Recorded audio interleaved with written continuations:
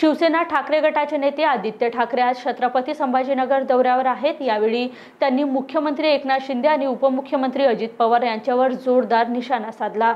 देशातील जनता इंडिया आघाडीसोबत आहे. आमची ही शक्ती चार जूनला दिसेल. शिंदेची शिवसेना नाही त्यांचा गद्दार गट आहे. त्यांच्या अर्ध्या जागा बदलाव्या लागत आहे अशी टीका आदित्य ठाकरे यांनी केली आहे. नक्कीच आपल्याला माहिती आहे की आपली देशातली शक्ती जनशक्ती सगळी जी आहे ती इंडिया आघाडी बरोबर आहे. आणि ही शक्ती तुम्हाला चार जूनला देखील दिसते त्यांची शिवसेना. त्यांची शिवसेना नाही आहे त्यांचा गद्दार गट आहे.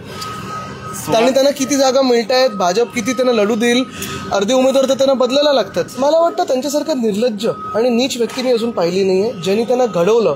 त्यांच्या पाठीत खंजीर खुपसून महाराष्ट्राशी धोका करून सगळे उद्योग तर गुजरातला पळवले शेतकरी आत्महत्या वाढत चालल्यात आणि ज्या माणसाने ज्या व्यक्तीने तुम्हाला सगळं काही दिलं तुमची राजकीय ओळख असेल तिकीट असेल मंत्रीपद असेल त्यांच्या सगळ्यात कठीण काळात पाठीत खंजीर खूप असणं आणि जाऊन मग अशी वक्तव्य करणं ह्याच्यासारखं नीच आणि निर्लज्ज व्यक्ती मी पाहिली नाही आम्ही बिलकुल काढणार नाही. पहिलं इलेक्शन कमिशननी भाजपवर कारवाई करावी.